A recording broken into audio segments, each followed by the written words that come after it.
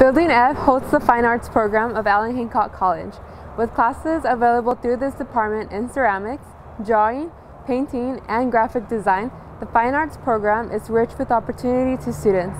This building has an open air courtyard as well as a gallery space for the display of student work.